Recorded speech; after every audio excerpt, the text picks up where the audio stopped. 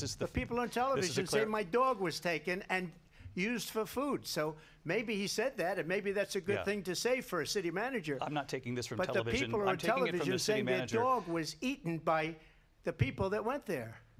Again, the Springfield city manager says there's no evidence of that. Vice We'll President Harris, out. I'll let you respond.